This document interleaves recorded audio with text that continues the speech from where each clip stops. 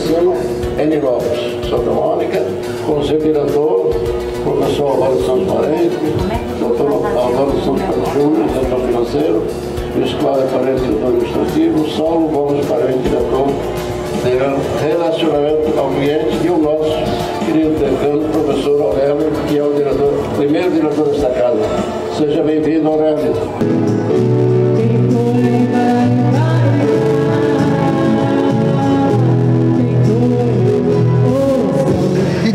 Já, meus parabéns.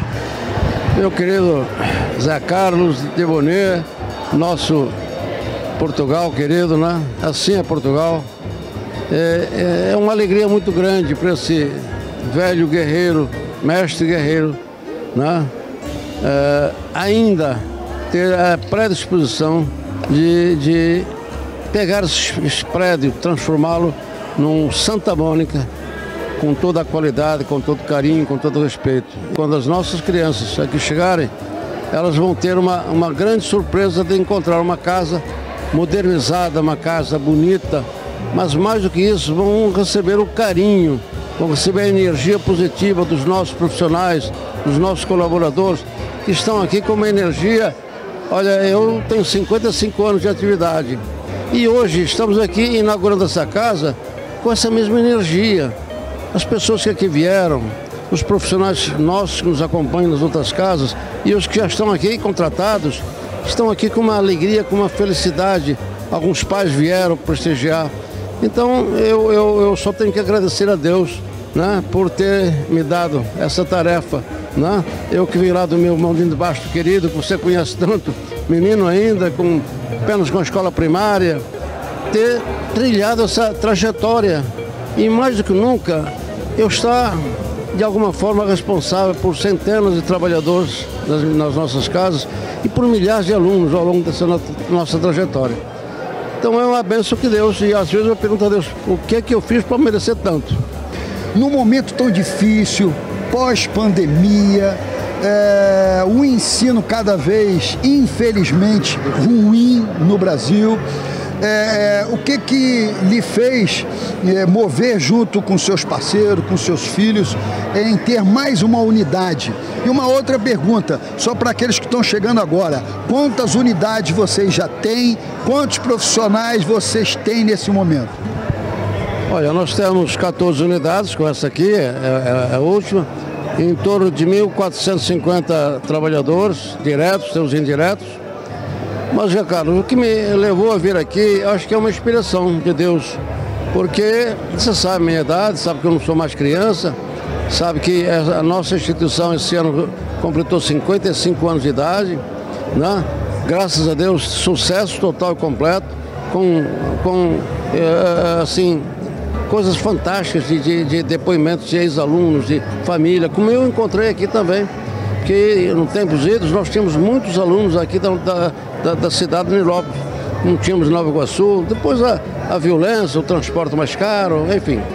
Mas quando eu recebi a informação de que essa casa ia fechar, eu disse, meu Deus, aquela casa é muito, muito, é grande demais para fechar. E aí vim, fizemos um acordo com, com, com os proprietários e com um esforço gigante de um grupo de mais de 30 trabalhadores, nós fizemos uma grande transformação que não terminou ainda, tem coisinhas ainda para terminar, mas o importante é que as salas de aula, refrigeradas, com todo conforto, móveis novos, está, estão prontas para na segunda-feira estar recebendo aqui os nossos educandos, as nossas crianças, os nossos adolescentes. E é isso que move a minha vida, Zé Carlos. Eu, eu às vezes falo para as pessoas, gente, eu não preciso mais nada na minha vida. Eu, eu, preciso, eu preciso que Deus me dê saúde para trabalhar. E para mim o trabalho é, é, a maior terapia que eu, possa, que eu possa ter.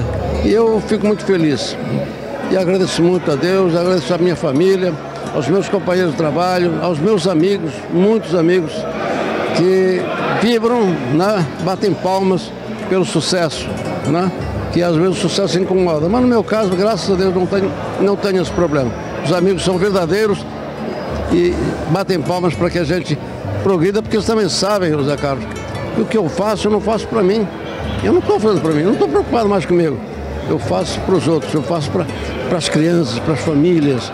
Quantas famílias eu ajudei nessa trajetória? Quantas crianças estudaram nessas casas sem pagar nada? Hoje são profissionais é, respeitados no mercado de trabalho, entendeu? E é isso que eu passo para minha, minha, minha, meu, meu grupo de trabalhadores.